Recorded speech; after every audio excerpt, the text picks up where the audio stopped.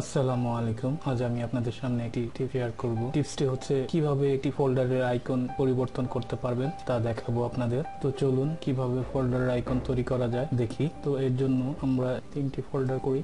দুটি ফোল্ডারকে আমরা ইটের ভেতরে রাখলাম। এবার এই ফোল্ডারে একটি আইকন দিব। ফোল্ডারের ওপরে মাউসের পয়েন্টার নিয়ে রাইট বাটন ক্লিক করব।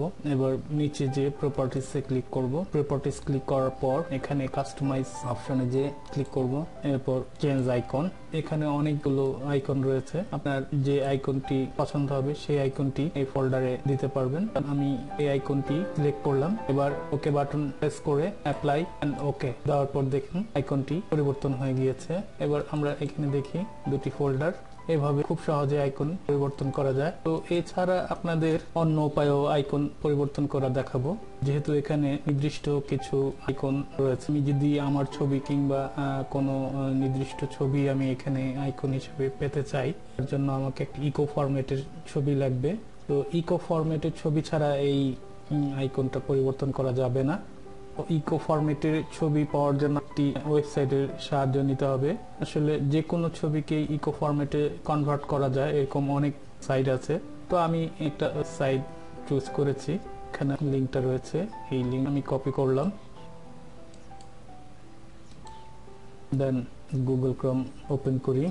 একটি ছবি ডাউনলোড করে নিই। একটি ছবি ডাউনলোড করছি।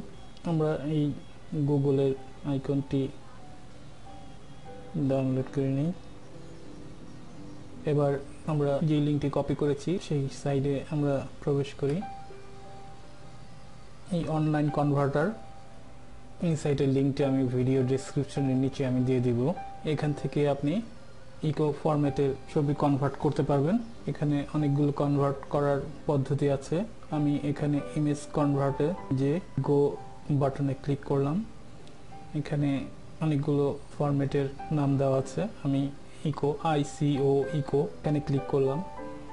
দেন আমি একটু আগে যেই ছবিটি ডাউনলোড করেছি, সেই ছবিটি আমি এখানে, এই যে ছবিটি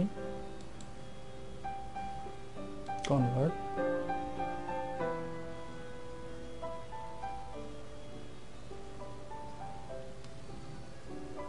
ছবিটি অটো সিস্টেমে ডাউনলোড হয়ে যাবে।